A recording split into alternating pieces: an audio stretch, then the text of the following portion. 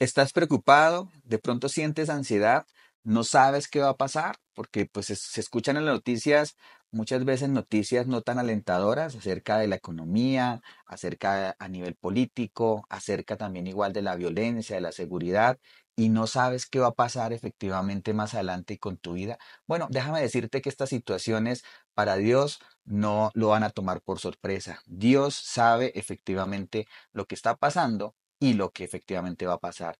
Hay un pasaje eh, en la Biblia que quiero compartirte en Jeremías 33, 2, básicamente que dice lo siguiente.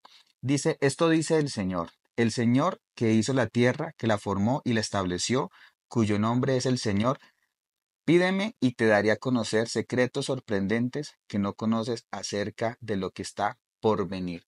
Básicamente, el creador de todo el universo nos está diciendo, pídeme y daré a conocer secretos de lo que está efectivamente por venir, ¿sí? Quiere decir que a Dios todo lo que está pasando no lo va a tomar efectivamente por sorpresa. Si quieres conocer el propósito que Dios tiene para tu vida, lo que está por venir y qué decisiones tomar, qué hacer, pídele a Dios porque nos lo está diciendo, digamos, en su palabra, ¿sí? Si no sabes cómo hacerlo, es muy fácil. Lo primero que tienes que hacer es recibir a Jesús en tu corazón.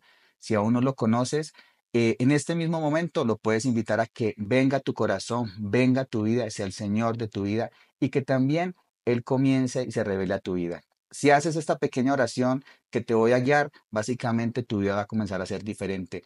Di, Señor Jesús, reconozco que moriste en la cruz por mis pecados, que moriste para darme vida y vida eterna. Yo acepto ese sacrificio en la cruz y quiero que seas mi Señor y mi Salvador. Ven a mi corazón Bautízame con tu Espíritu Santo y guíame para poder conocer el propósito que tú tienes para mi vida.